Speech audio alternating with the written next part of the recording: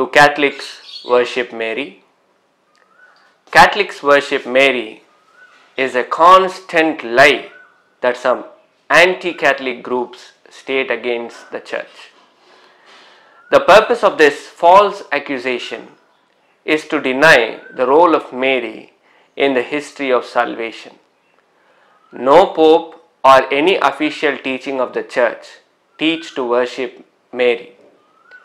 Catholics give great devotion to Mary because of her unique role in the redemptive work with her son. She is not an ordinary mother. In the birth of a human child, both father and mother cooperate with God to give the child a human flesh. In the case of Jesus, he received body and blood only from his mother. When Eve was taken from Adam, he called her the bone of my bone and the flesh of my flesh. Here, Mary can call Jesus more rightly flesh of my flesh, bone of my bone. Flesh of Jesus is the material flesh of Mary. Blood of Jesus is the material blood of Mary. When she said, Be it done to me according to your word, she is surrendering herself to God's plan. Abraham became the father of nations because of his great faith and total surrender. Here, because of her total surrender and extraordinary faith, Mary became the mother of a new kingdom that was established by Jesus.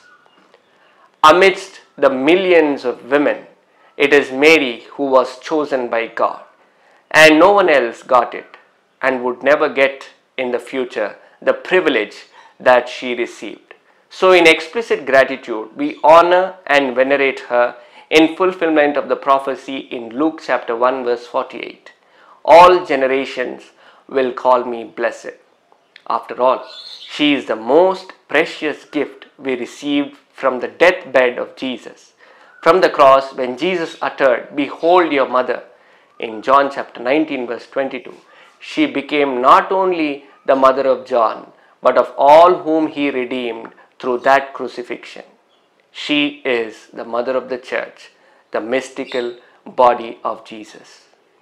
Pope Paul VI, in his apostolic exhortation, Marialis Cultus, states that the origin and effectiveness of Marian devotion is from Christ. It finds its complete expression in Christ and leads us through Christ in the Spirit to the Father. There is an image of Mary, mother of Jesus Christ, painted by St. Luke. It was carried by St. Thomas the Apostle to India in AD 52. Even today, the Blessed Virgin Mary continues to be venerated through this painting. It is kept at the main altar in the Church of Mount of St. Thomas in Madras, that is in India, a place where St. Thomas was martyred for his Catholic faith. We see that the devotion to Mary goes back to the time of the apostles who were personally devoted to the Mother of God. The apostles encouraged the disciples to honor Mary as their mother because Jesus gave her to us to be our mother.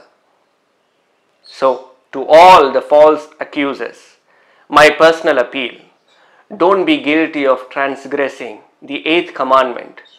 Don't bear false witness against your neighbors. Stop spreading lies. Catholics honor and venerate the Blessed Mother of God.